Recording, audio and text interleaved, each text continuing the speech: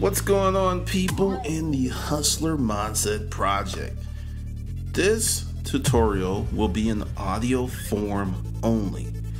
Yes, there's a picture up there, and if you look at the screen, you'll see something, but you don't have to to get the content of this lesson, which is how to develop mental toughness the Glinton Cameron way. When I put together the Hustler Mindset Project, essentially I had to deconstruct myself. One of the things that I learned years and years ago when I was looking for my own batch of magic jelly beans was I could read someone else's book journey, but at some point I had to intersect my shit and mix it up. And what you're going to hear is a little crazy. It's a little while, but this is the things that put me on the path to mental toughness. I'll start off with how I was living in a boarding house and dating a resident that was an Emory student who was incredibly gorgeous. I was on AOL Love, and it'll be very quick. I saw someone I wanted, and instead of stepping away, I planned to lose. I thought of everything that she would think of to say no to me, and I came up with a counter argument. I didn't have a car. I lived in a boarding house. there was so many negatives, but I planned to lose. See, when you plan to lose, you look at all the aspects because see many times when people are trying to win they only look at winning they don't look at the elements that can create a loss so when you plan to lose and go back step by step, okay, this can happen. What kind of contingency plan can I make for this? And when this happens, what kind of contingency plan can I make for this? And so on and so on. And I spent maybe six hours on this. I was a little nuts and I also had a lot of time on my hands.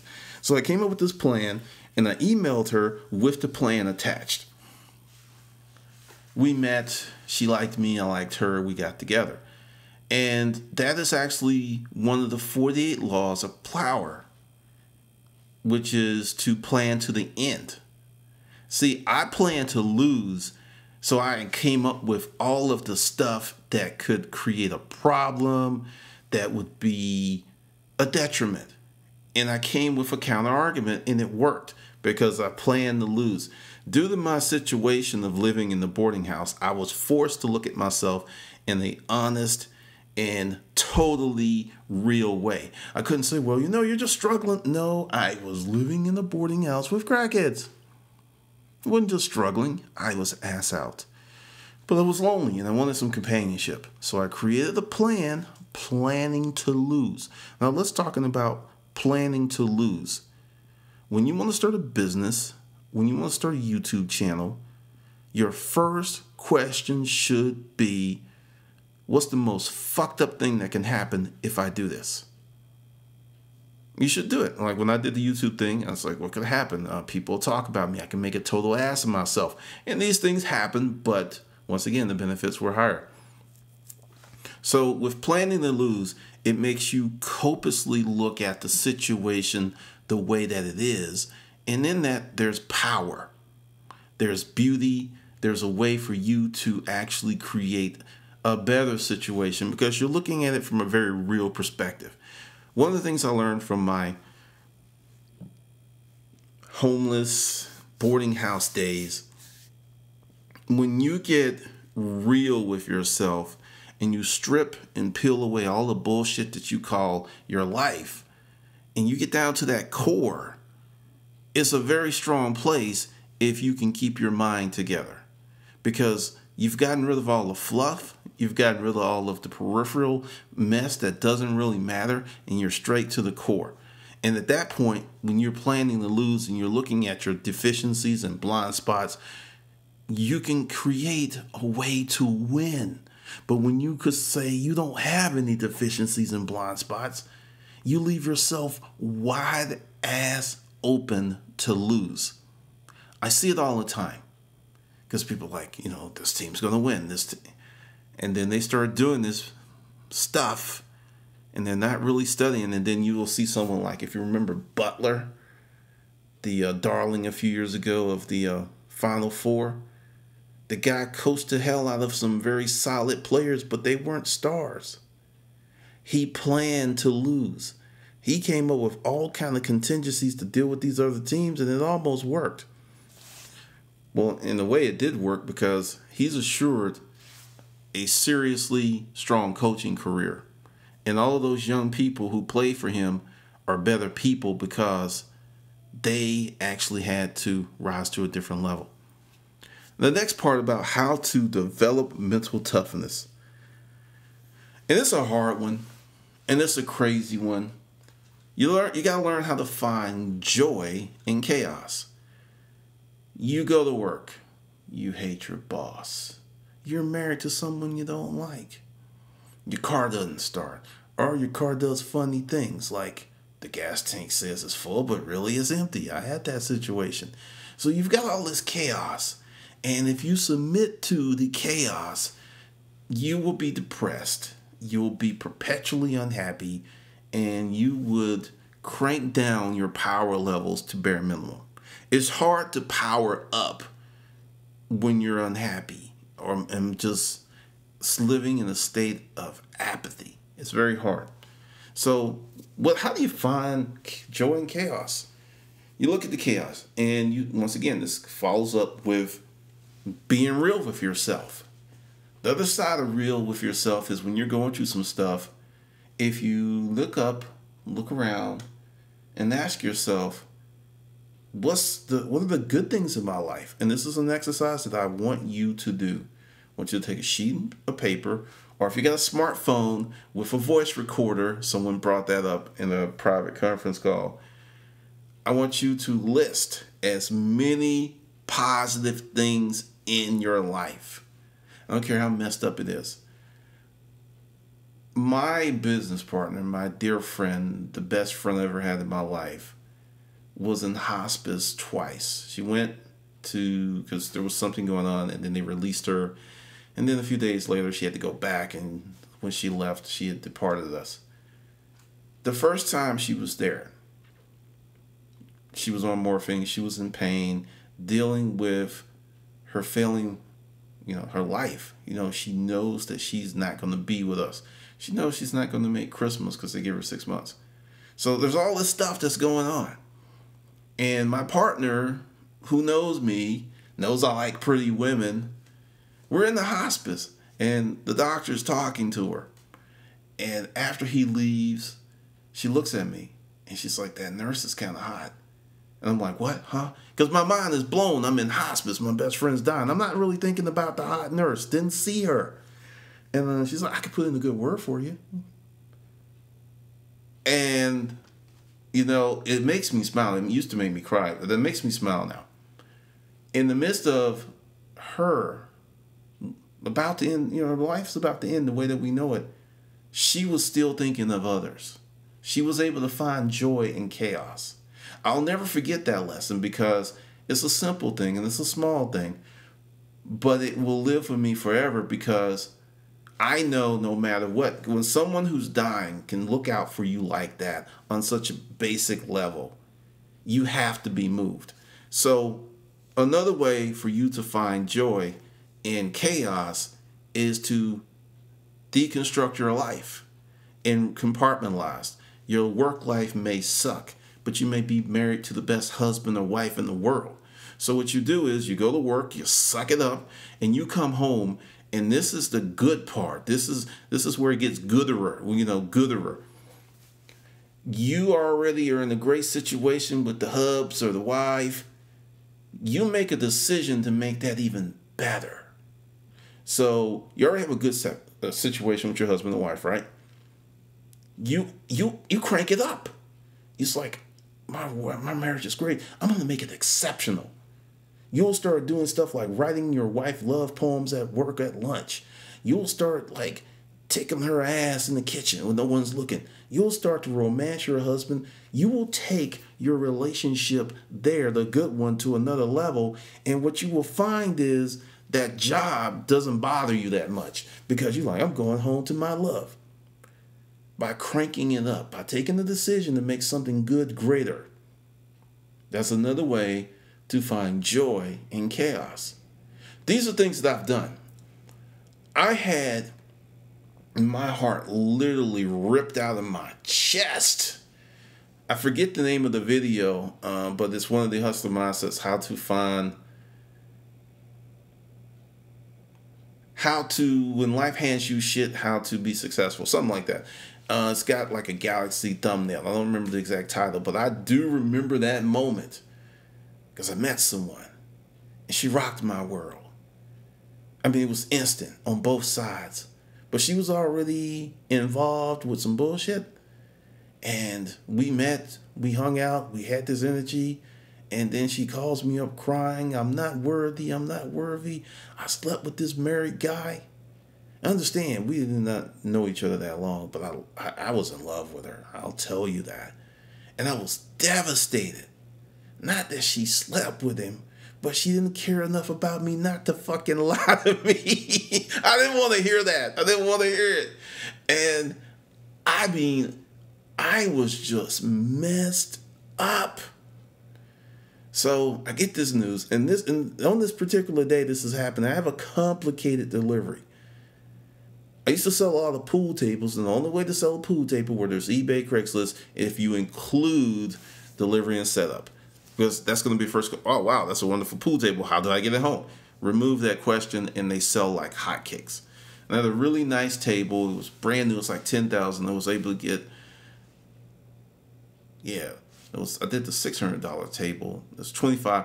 I've sold a lot of pool tables, but it was between six hundred and twenty five bucks. But I do remember going to the customer's house because it's a pool table, and if anything goes funny or they're unhappy, a live person on the scene will soothe things over. So I'm there. She's I'm in the car. The guys are taking the pool table inside the house. She's on the phone. So I not only have to deal with my breaking heart, I've got to deal with this very tricky sale that was done on eBay. So I go in. She's talking to me. I am like, power on, man up. The lady of the house is there. Her husband, who bought the pool table, he's on the phone with her. And, you know, she's doing this, doing this. And the guy set it up. I'm still like, you know, reeling, but I gotta put on a brave face and do this. And the husband's like, hey, put a ball on the table, because, you know, it was loud, I heard it. And he put the ball on the table, and thank God the ball didn't roll. She said, nope. I put it down and it's sitting there. And he said, pick up another one. And she picked up five, six balls, from various places, and neither one of those suckers moved. And the guys, I gave them a thumb up because they they leveled it off properly. So it was great. And the guy was like, honey, we got a great deal. She said, my husband's happy. Thank you. She shook my hand. I had to sign a receipt. I left. Then I got in my vehicle. Rush hour traffic. Understand, I got all this shit going on and it's rush hour traffic. I, I, I passed my house and I went to the warehouse. I was livid. I was hurt. I was my mind was reeling. If you've ever had your heart broken, you know what I'm talking about. And with heartbreak comes energy. So I was all in the warehouse all night because I had moved stuff, redesigned stuff, changed up quarters, put notes on stuff for my partner and everything. And I worked the pain out. I used that pain and that energy to create something positive versus going home, sitting on my couch, looking at the TV like Al Bundy going, Whoa, is me. I turned that pain into something positive, came up with some business practices that actually helped us make even more money in the future. Not saying it's easy, but you have a choice. When you're dealing with that kind of stuff, you have a choice. You can submit to it or you can commit to a higher purpose. And that's what I did because I knew if I went home, I would I'll be honest with you. I probably would have went to her house, drove by, done all kind of dumb, crazy stuff. Cause I was caught up, or as they say in Alabama, my nose was wide open. And after it was over and I talked to her and I just like, you know, you're worthless. I went over everything and I was like, wow, if this event didn't happen, I wouldn't put together these procedures. Huh. And when I started looking at life like that, that even though there's this negative thing, there is some joy somewhere if you will search for it. So I did that, and it was like, I couldn't believe it. I could not simply believe it. Because one of the things you have to understand is energy, good or bad, is powerful. Many people think because you know the energy comes from a happy moment. You can have incredible power in pain. One thing that some of you may or may not know about me, I'm a hopeless romantic. I know it's gonna crack you up. I am. I am. It's just I used to write women love poems, and I've written a ton. So I know about the heartbreak because I used to wear my heart on the sleeve and do all this crazy stuff. And I learned how, in the power of heartbreak, to put Humpty Dumpty back together again. You have to admit you're hurt. That's number one. So many people are walking around going, I ain't hurt. It ain't hurt me that. I'm alright. Don't date anyone seriously for 10, 15, 20 years because they that hurt. They hurt. Admit it. If you got to cry, cry. If you got to go for a walk, go for a walk. You have to exercise this stuff or it's going to own you. And with, with learning that, that some of my best poetry, some stuff that I wrote 20 years ago, I can show to someone today and they're moved because it came from a very honest place. So sometimes when I had this heartbreak, I would do this, and this is gonna sound so contrived. I was like, okay, you can you can make some good poetry with this because you, you you in that mode, man. You in that mode. And as I became more mentally tough, more mentally stronger, to write that type of stuff, I can transport myself back to that moment. And I will say, I don't do it that often because it's a rough ride. Because essentially, what you have to do is go back into that time and relive those feelings, the good and the bad. And then that's one of the ways that I motivate myself because I never had this thing called writer's block. I have this thing where I'm busy that I don't make time to write, but I can always motivate myself to write because I can always induce the proper mood for creativity because I just go back and it's like, yeah, we'll go back to that time. And then, bam, I have that energy and I can use it. And the mentally tough part is knowing that it's a journey in the past and that you can come back. Because when you really get into it, you get all of that stuff coming back. So that is one of the ways that I learned how to use energy. Because I knew from the first few times it happened and people saw the poetry that that was like some of my best stuff. It was just like some of my best stuff. And now, even though I am extremely happy, I've got a wonderful woman in my life, all kinds of good stuff is going on. I can go back there and create a piece that can make a chick cry. It's amazing. It is amazing. And that is one of the things that I talk about in the hustler mindset. That when you go through an experience Many people look at it as the experience. Many people miss the fact that that experience will give you byproducts. Things will be cast off new techniques, new skill sets, new thought processes, new perspectives. There's so much that came from those painful days. I'll give you another thing that came. I, used to do this thing called Passionate Friday, and I had a list serve and let you know how long I've been on the internet and I would send it out and I would procrastinate. And a lot of times those poems and stuff would, would be started at 11. A few were started at 11:45, but my goal was to get it out by Friday. I learned how to instantly create and write very fast from doing that exercise over about four or five years. Byproducts. That's why when I say, you know, everyone like has this thing don't work hard, work smart. Sometimes you have to work hard first before you can work smart.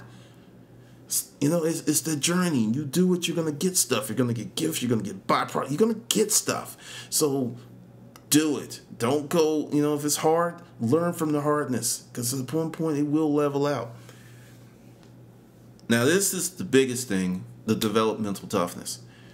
When I talk about mental toughness, I speak of having the ability for you to do what you need to do to be successful.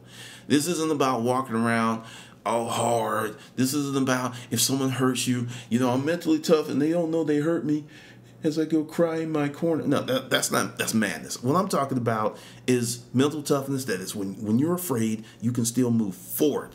That's what I'm talking about.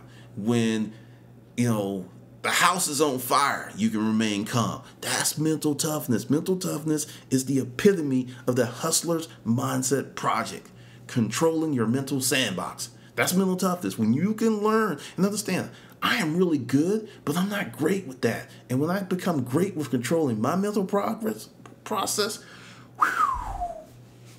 who man, it's gonna be big. It's gonna be big. I'm telling you, I can feel it. So as you learn how to control that, you become mentally tough because you are controlling your inner world, which will expand to your outer world. Most people want to control the outer world and completely ignore the inner world, which is crumbling and turning into ashes. You see this all of the time. All of the time. So, with this mental toughness, and this is the biggie, because this is something I had to learn myself if you can't forgive yourself, it's impossible to forgive others. You've got to develop some type of forgiveness mechanism for yourself. I, as a human being, have fucked up massively on many levels. I've had to forgive myself. I've had to ask for forgiveness. I've had to beg for forgiveness because of the things that I did. And when I was able to forgive me, it was easier to forgive others. And I'm a person who can hold a grudge It's one of my weaknesses in life. It's not a good character trait. I've really worked on it over the years. Um, right now, there's only one person that I have a grudge with, and the shit's recent, so it's not like it's long term grudge holding.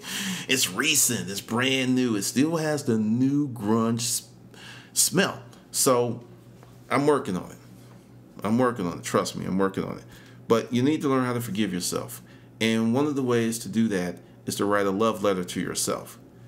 I did X, Y, and Z, but I still love myself because I'm this, I'm this, I'm this, I'm this. And when you start seeing and congratulating yourself and benefiting yourself, it's easier to forgive yourself because if you don't forgive yourself, you can be that person carrying around that bitter pill of angst in your chest for a decade or two or three or until you die. There's a reason that deathbed confessionals are so powerful because at that moment, the person realizes that they have no more time on this plane. It's like the locks come off. It's like, okay, well, we're going to be real because, you know, I'm not going to be here much longer. Don't be that person. Don't be that person. Learn how to forgive yourself. Learn how to say, you know, I made mistakes. I made mistakes because I didn't know what I was doing. I made mistakes. I mean, just be that honest and real with yourself. And when you turn into a habit, you don't. You're not as hard on yourself. And I will tell you this: in life, so many people will be hard on you that you being hard on yourself when you don't have to be. I'm, I'm, I'm not talking about honest evaluation. I'm talking about the guy who wasn't paying attention, swerved hit somebody, kill the person, and for the next 50 years they're walking around suffering penance from which was really an accident. They didn't mean to kill that person. It happened. It was horrible. I'm talking about that. If you know, and I will give you some other cases, and this is my life. I don't know if it's yours, but when I make mistakes that are really mistakes, I'm not trying to do anything. If somebody gets hurt, something happens, and it is truly a mistake, I don't suffer a lot of ill consequences. But when I deliberately try to take someone down, it's ugly. It's just ugly. It's just really, really ugly. So I try to leave people alone and not be that person because I did something to someone that I guess it falls under what I just said. Uh, statute of limitations are over. I told you told you this stuff's going to be wild. The uh, advanced hustle, uh, conservative hustler mindset training and DLC shit's going to be wild. I was with someone who cheated on me. I found out she cheated on me, and I uh, was that guy. I got her face. She didn't have Facebook. Facebook didn't exist back then. I got her Yahoo account and her um, Black People Voices email. And this is funny. I guessed her passwords because I knew the chick, and I changed it. And it's like if you want to have the type of chick that will lie to you, cheat on you, blah, blah, blah. And then I emailed that to everyone on her address book. And that shit happened to me. And the reason that is is because I felt the relationship was going bad, and I said, "Look, we could break up now and we'll be cool." Because at that point, I'm like, you know, there's you can't hold someone if they don't want to be there, they don't want to be there. But when I told her that, and two weeks later, I found out that she was cheating when I gave her the get out of G verse card.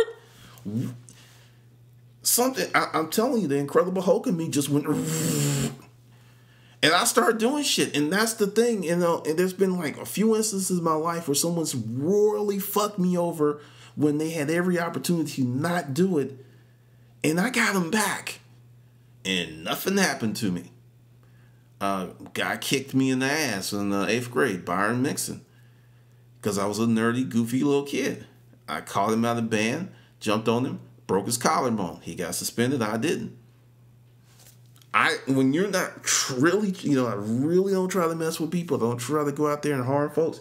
But when people mess with me and it is like too much, and I get them back, no consequences. But if I'm being messy or saying something rude or evil about someone that's never done anything to me, then there's plenty of consequences. That's how it works for my life. Maybe your life's different, maybe it's not, but that's what works. So you got to develop that self forgiveness mechanism. You got to find positive aspects of you and then work on the negative aspects. Now, this is something I struggle with challenging myself when no one's looking. And the big struggle has been in the gym the last six months. It has been, you know, I went to the gym today, did not want to go. And I've got my process. When I'm in one of those moods where, you know, my energy level was low because I've been working like crazy and I didn't want to go, I developed a process to get me to the gym. Sit down, put my shoes on, grab my little gym bag, grab my coat, and head out the door immediately. Don't think about it. Get in my vehicle, go. Just imme- just immediately. And I developed this process when I was learning to talk to women. A lot of guys will see someone they want to talk to them, and then they will start creating all of this. No, she ain't gonna like me. Uh, they will actually cock block themselves long before even get. They won't even get to the chick, or they'll go there and actually make the self fulfilling prophecy thing that was in their head happen. I would see someone. I knew I was a little shy nerdy guy and this is years ago. And I would just like roll over there, and it was kind of crazy, right? Because it was something I would come. I was like, "Hey, how you doing? My name's Patrick." And it's like, "Why are you breathing like that?" It's just like, "Cause you know you're turning me on." I said that once, and the girl just started laughing hysterically, and I thought, "Oh well, this is going to end badly." But I stood, I just stayed there, and she grabbed my arm real tight, and she said, "You're adorable." I was like, well, you know, I had to get over here. You know, you're so hot. Everyone else is going to want you. She said, oh. I was like, when, right? And that's where I learned the thing with it's like when there's something you don't want to do, buckle up, move fast, get your ass over there, and just get into it. Don't think, just go. Just like the Nike slogan, just do it. It because the minute you let inertia kick in, gets real hard to get off that sofa. You feel like you're 800 pounds. You feel like you Jabba the Hutt. It's like I can't go. So that was the day, and that's what I'm talking about. This this is an ongoing progress, and that's why I said that I am good at being mentally tough.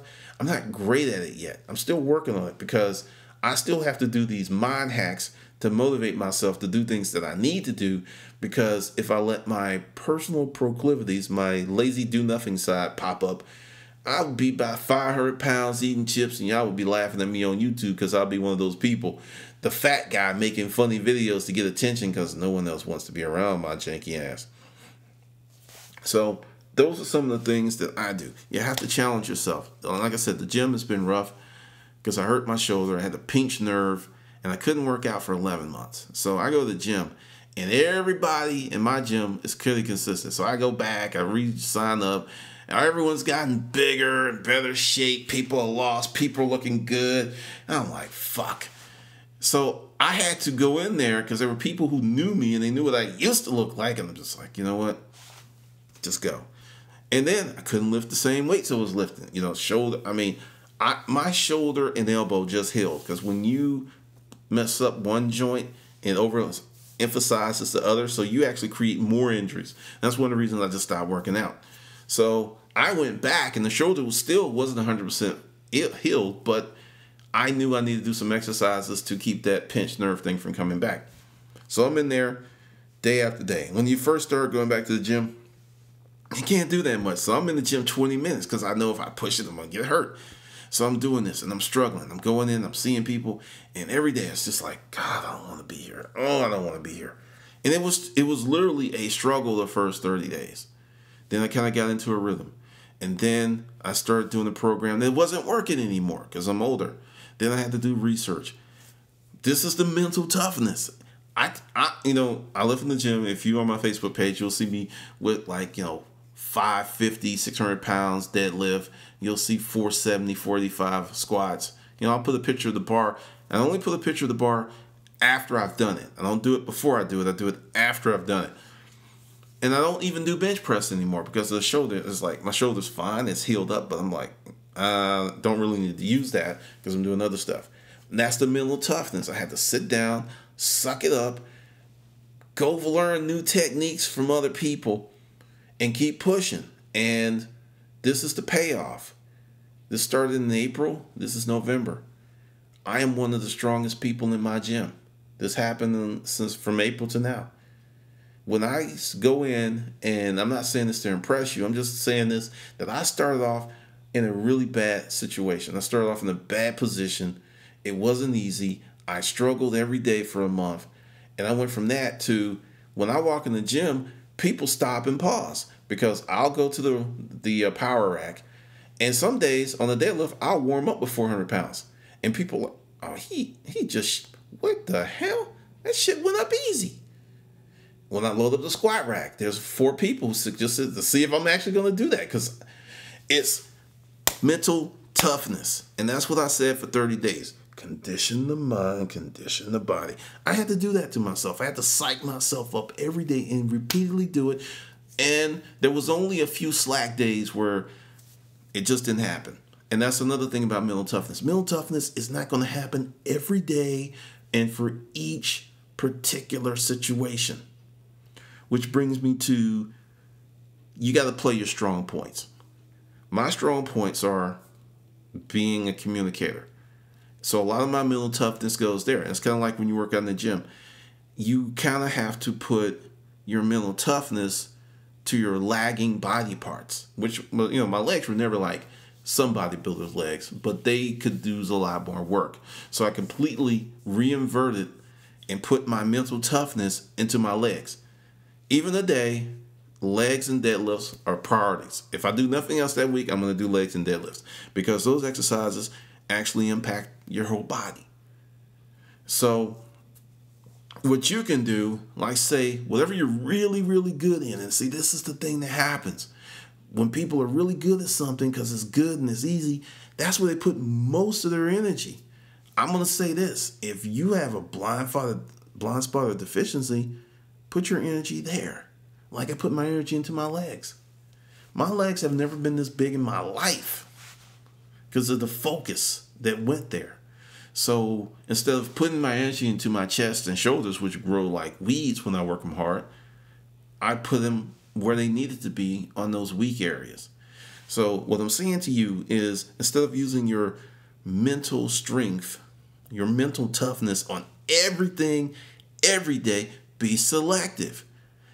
Whatever you're really good at, do not use your mental toughness on that. You don't need it. You can go on autopilot for that stuff. But stuff that makes you want to just grit your teeth, you don't want to do it. You're like that baby going, no, no. With the you're trying to put the peas in, and they're like, uh-uh, I don't want those peas, daddy. No.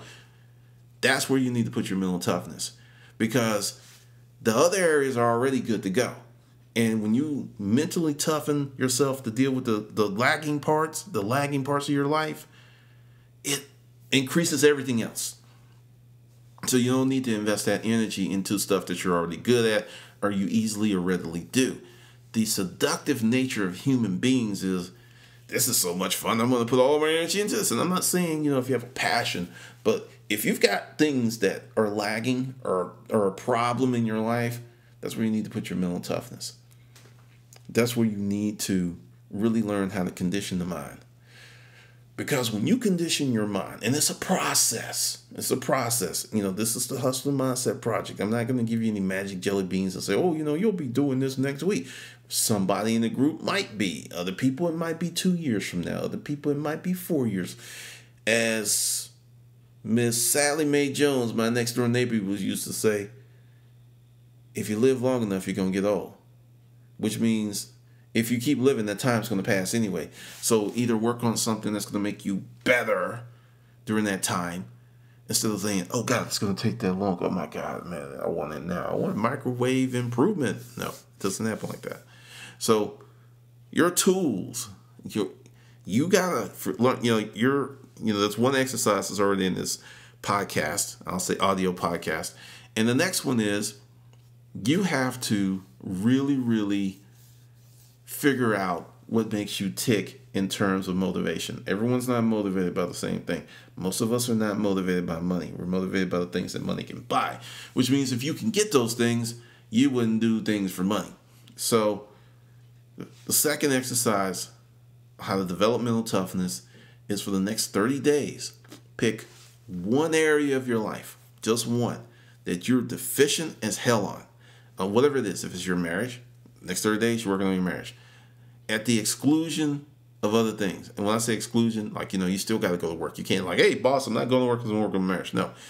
At the exclusion of using your mental toughness. You will only use your mental toughness on that one thing. That one thing. That's, and that's going to kind of be the theme because what I've learned putting these courses together is that when I give you concepts and then that's like, okay, here's this thing, then here's another one, then there's another, it's overwhelming.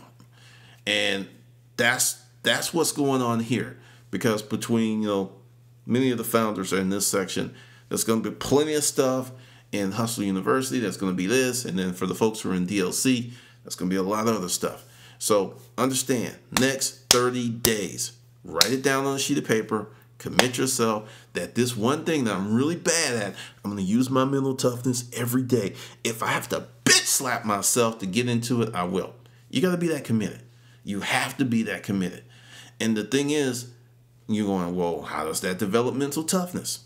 And I'm going to answer the question.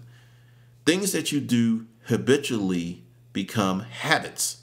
So if you push yourself to deal with a negative aspect of yourself, it becomes a habit that will make you better and better and better. So that's the habit.